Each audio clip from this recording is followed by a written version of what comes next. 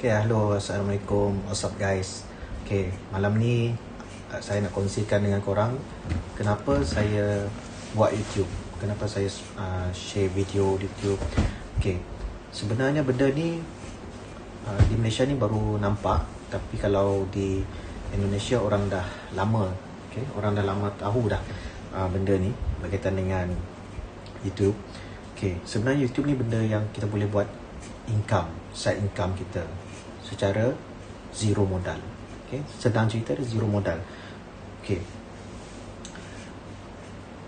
Korang perasan tak bila kita search dekat YouTube, kebanyakan video yang kita nampak adalah video yang daripada luar negara. Contohnya yang paling dekat negara jiran kita, Indonesia. Okay, okay sebab di Indonesia orang dah nampak awal dah. Jadi mereka dah buat lama dah video uh, YouTube ni. Jadi dah jadi YouTuber ataupun jadi content creator. Sebab itulah kebanyakan video di YouTube kebanyakannya adalah hasil daripada uh, negara jiran kita Indonesia ataupun negara-negara luar. Di Malaysia ni agak kurang video yang uh, dihasilkan di YouTube. Okay, sebab di Malaysia kita tak nampak lagi. Yang YouTube ni sebenarnya medium kita boleh gunakan untuk buat uh, duit ataupun jana pendapatan kita sendiri. Okey.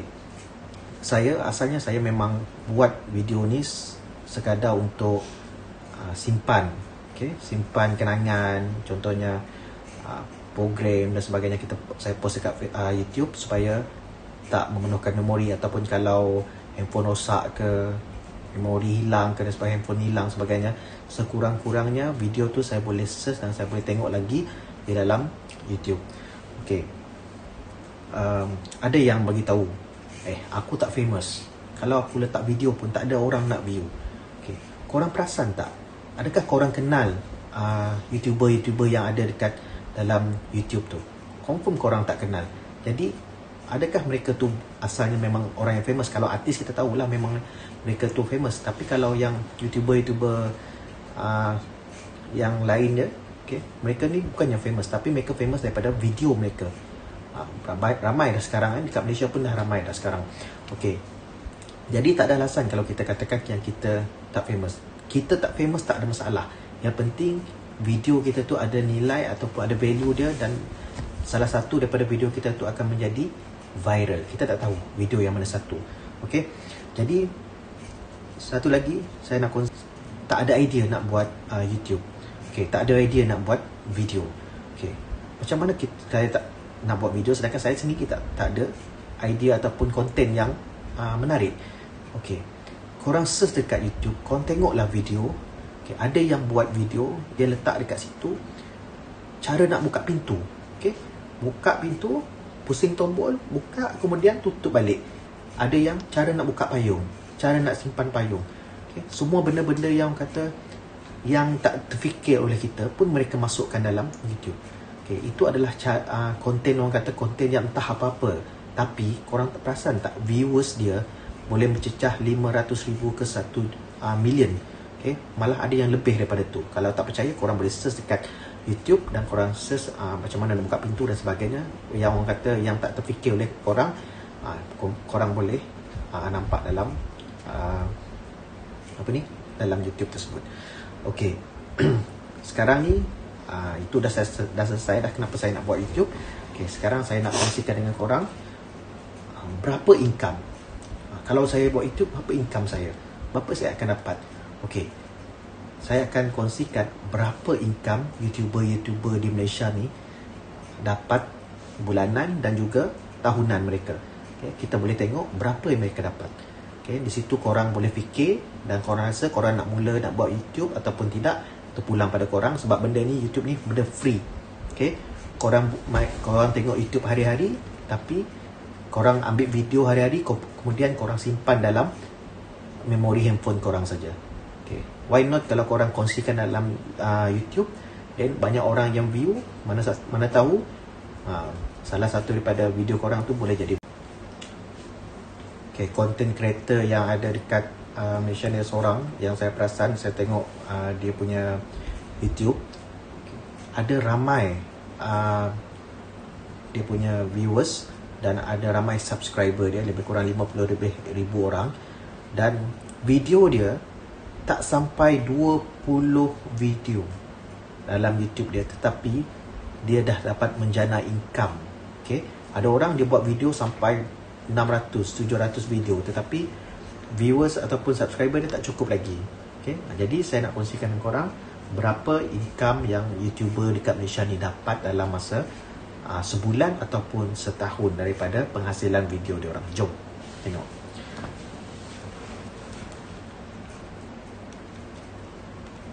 Pertama sekali korang kena search Social Black. Okay. Okay, dekat Social Black ni dia ada uh, kita boleh search okay, siapa yang uh, there's a Insta famous, uh, YouTuber. Okay, di sini kita boleh tengok statistik ataupun berapa dia orang punya income. Okay, kita masuk dekat okay, top 50 YouTuber. Okay, okay, kita search country okay. okay kita cari okay, kita search Malaysia sorry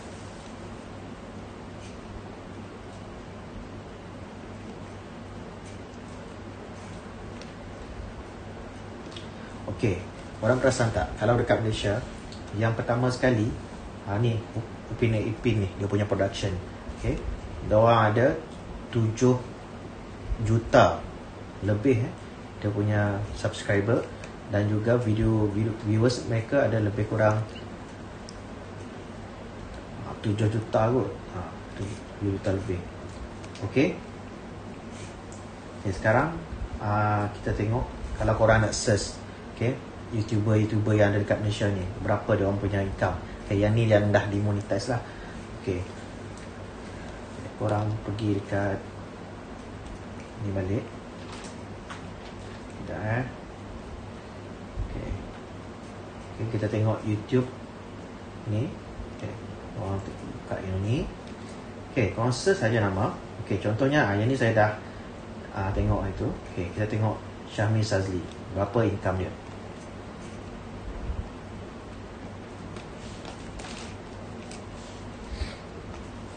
Okey, bulanan dia dapat 195,600. Okey, kalau tahunan dia okey, 586,400.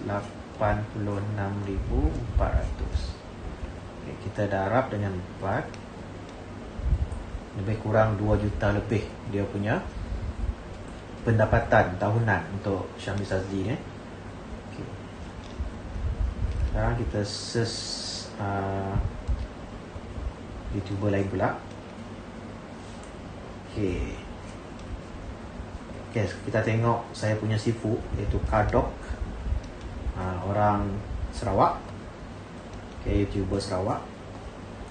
Alright. Dia dah upload 659 buah video. Subscriber dia 243 ribu orang.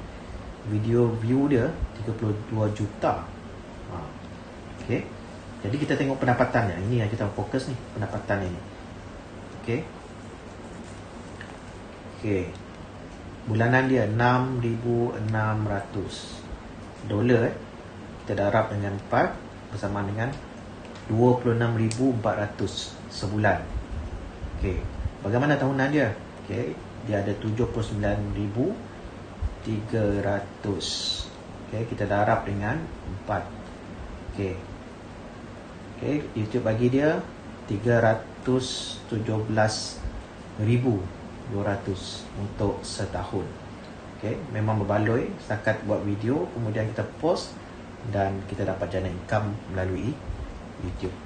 Okay, kita tengok lagi uh, yang korang familiar lah. Okay, contohnya seperti uh, ni Alif Irfan ni yang dia punya subscriber lebih kurang 2 juta orang ha, tengok subscriber dia okay. kita tengok channel dia Alright, see okay, 2 juta 2.26 juta subscriber okay. yang ni kita tengok berapa bulanan dia okay.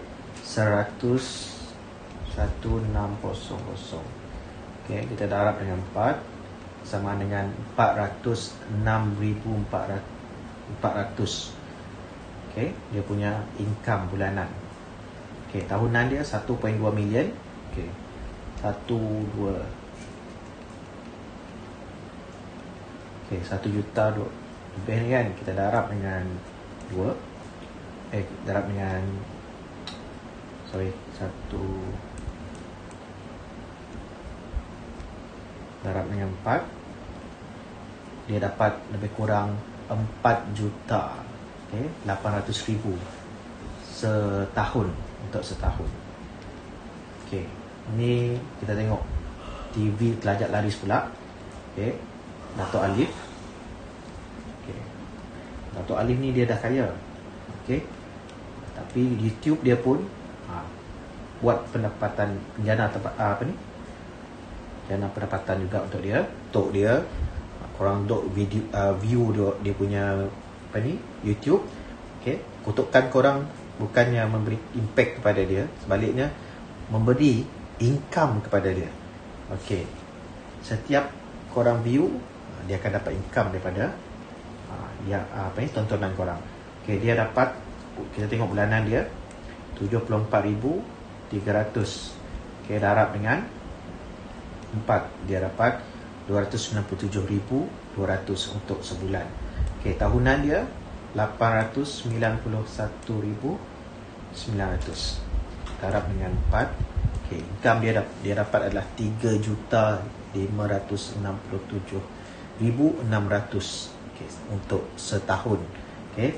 Jadi siapa kata jadi YouTuber ni tak berbaloi? Ha, saya daripada apa yang saya kongsikan dengan korang ni, korang dah uh, boleh nampak sekarang ni kenapa ramai buat video YouTube sekarang ni? Sebabkan benda ni benda ni lah. Sebab benda tak perlukan modal. Tapi kalau korang ada modal maksudnya video korang itu lebih menarik lah dari segi pencahayaan ke dari segi uh, apa ni? Penghasilan video korang. Kalau ada bajet lah nak beli kamera bajet nak beli handphone mahal bajet nak beli uh, laptop dan sebagainya untuk edit video tapi kalau korang tak ada benda ni, korang bermula dengan handphone saja tak ada masalah. Yang penting korang dah bermula daripada sekarang. Kalau korang tak mula daripada sekarang, kalau korang tunggu, tunggu, tunggu, satu hari nanti, kemungkinan YouTube akan letakkan syarat untuk monetize uh, apa ni, ikut program dia orang ni lebih ketat. Sekarang ni pun dah kalau syarat dia kena 1000 orang subscriber dan 4000 jam tontonan. Jadi bermula daripada sekarang takut satu hari nanti dia akan bagi uh, apa ni dia akan ketatkan lagi dia punya syarat. Okay guys, terima kasih kerana menonton. Jangan lupa like, komen dan subscribe channel Cikgu Bob. Okay, channel Cikgu Bob TV ah, dan support video saya. Okay, thank you. Nanti saya akan kongsikan video-video yang lebih menarik ah, kalau korang support saya. Okay, bye. Assalamualaikum.